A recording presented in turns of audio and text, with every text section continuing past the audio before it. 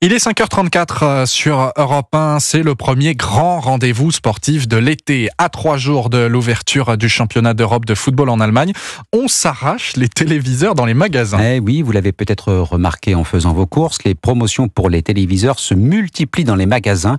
Margot Faudéré l'a constaté dans une enseigne parisienne bien connue. Reportage.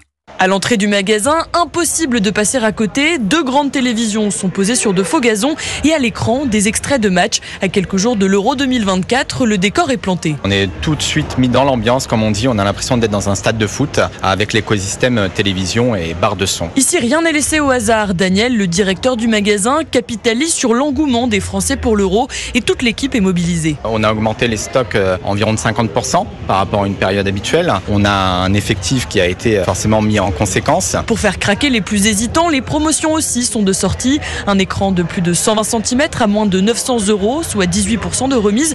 Manon n'est pas loin de craquer. C'est tentant, parce que je pense que ça c'est plus haut à la base. Et la stratégie est payante depuis plusieurs semaines. Les ventes de téléviseurs s'envolent avec des hausses à deux chiffres. Et ce n'est pas fini, assure Daniel, le directeur. Plus la France va aller loin et plus les ventes de télévision vont continuer dans une croissance très positive. On n'est vraiment pas au pic. Si l'équipe de France atteint les demi-finales, Daniel espère même un doublement des ventes. Un reportage Margot Faudéré du service économie d'Europe 1.